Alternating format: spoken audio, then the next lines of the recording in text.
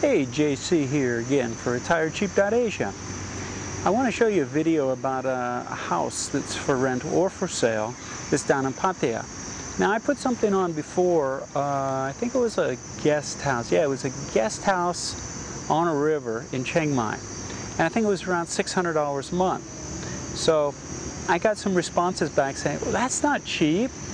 And you're right, really for over here it's not that cheap. But a lot of people I know the majority actually are coming to this site because they want to try and save money. They're on a limited budget. But there's other people, I've got friends over here that they're millionaires and they've bought houses over here and are living and uh, the reason they're here is because of the lifestyle.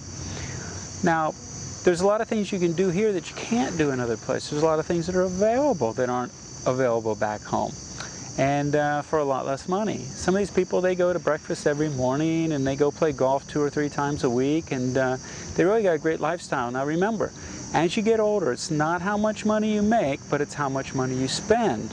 So yeah, they, they spend a lot on their housing or whatever and then save money the rest of the day. And so their money or their retirement funds go a lot further. So they're actually over here um, not only to save a little bit of money, but uh, also to, uh, to let their money, make their money go a lot further.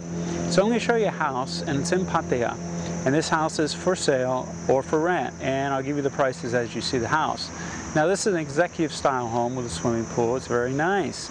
And so this is what's available if you've got some extra money. If you're in that uh, category three budget where you're, you know, you've got uh, a lot of money to spend and uh, you don't want to have money left over at the end of the month, well, here you go. This is an option for you. So uh, check this out. It's a beautiful home and it's a really nice gated community.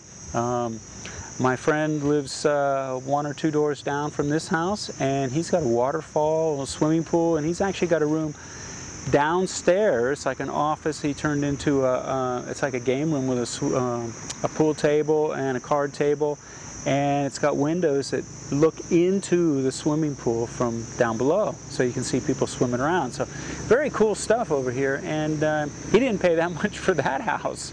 I, you'd be shocked if I told you how much he paid and uh, maybe one day he'll let me do a little tour of the house and I'll tell you how much he paid for that one. But let me show you this house and um, check it out. And if you're in a category three budget, you just might like to hang out in some place like this. So check it out. Remember, there's always an option.